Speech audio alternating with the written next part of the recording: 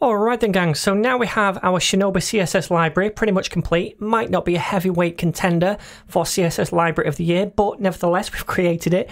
And I want to show you how you might typically use this CSS library in your own projects.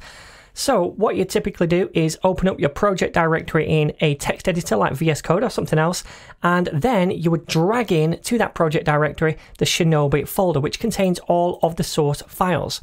Now, if you wanted to use it as is, all you need to do is create the gulp file like this and then watch the Shinobi folder and any Sass file inside it and then compile it. And then you could watch your HTML to rebuild it every time you used different classes so that we're purging out the unused ones. Now that's fine, but what if you wanted to extend the library or maybe customize it a little bit? What if you wanted to change the variables so that the primary color was different or the secondary color was different? Well, typically what you wouldn't do is go directly into the CSS library source and change those because you might end up breaking something.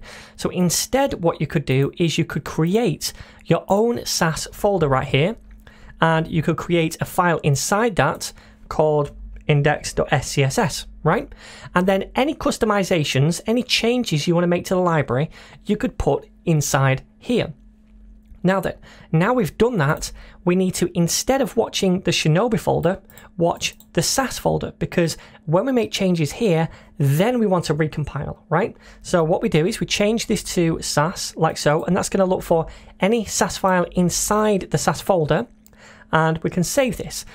Now we've changed this file, we need to rerun gulp down here. So cancel out of the process and run gulp again. And when we do that, it's now going to try and compile this file right here, where there's nothing inside it yet, instead of what's inside the Shinobi. And it's still going to output to the same destination, our CSS. Now, if we open that at the minute, there's nothing inside it because there's nothing inside this file either. However, if we add some kind of test select in here, and give this a margin of 10 pixels. If I save it, it's going to recompile. It's still not going to show in here, remember, because we have that purge CSS going on. And because we're not using that class in our HTML over here, then it's not going to show up in the final CSS. However, if I add it in, test right here, it's going to recompile again. And if we take a look in the output file now, we can see it. All right, so that's fine. But then how do we bring in all of the library?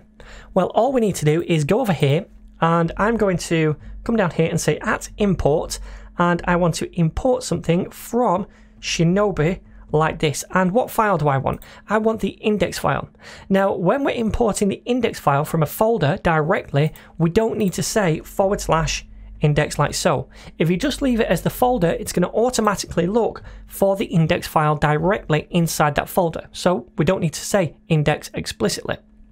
So now, if I save this, it's going to look at that, it's going to recompile it based on the classes that we use right here, but it's now also going to include everything from Shinobi as well. So if we take a look in the index file now for the CSS, we can see all of the classes that we use, right? So this is how I might typically set it up in one of my personal projects. I'll create my own Sass source file and import Shinobi right here. Now, what if I want to override some of the classes, or some of the variables rather? What if I want to make primary color something else? For example, I could say primary, like here, is going to be red, right? That's the primary theme color. Now, what do you think is going to happen here? If I save it and come to the home page, you see the navbar primary right here. It should be red, right? Now, if we preview, mm -mm, it's not. It's blue still. So why isn't it updated that class? Well, it's because even though we've updated the primary color right here, if we take a look inside the Shinobi, it already has generated all of the navbar classes for us right here using the colors, right? So by the time we get down to where we change primary, it's already generated all of those different classes for us. So it's not going to then generate them again after we've changed it because we import it up here. I hope that makes sense. Now, if that's the case, we should place it above here, right? So we could come up here and place it up there. And in fact, instead of red, let's change it to indigo just to make it a little nicer. All right, so if we save it now, is that going to work? Well, if we preview in the browser, no, it's still not worked. And that's because we have our primary variable here, but then we import this, and inside the variables file, we override that. Okay, so it was indigo before, but then when it reaches this, we override it. So how do we combat this? Because we can't now place it above the import or below it. Well, we do this using the default keyword in Sass. So if I add default in front, oops, in front of this or after the value rather, and I can do it after each one of these. Let me do it down here as well. Default and then default. What that means is, look, I want you to set this to be the value of the primary variable unless there's already one declared. Now, in our case, there is already one declared.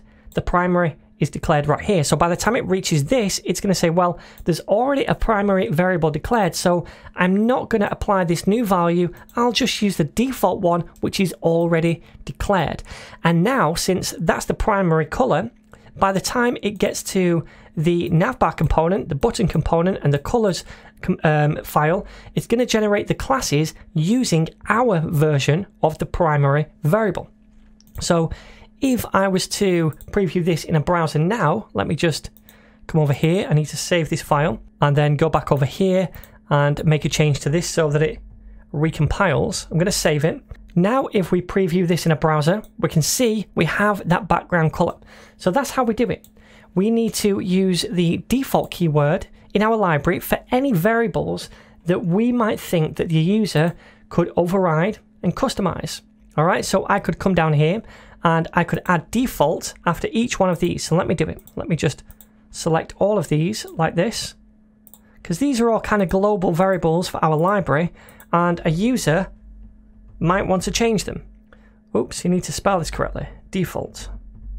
Alright, so if I save this now, we can override some of the others as well. So beneath this, I could say, well, the base padding is going to change. So we'll put that to be 1 rem. And before, if we take a look, the variables, the base padding was 0.75, so it should be a bit more spaced out now.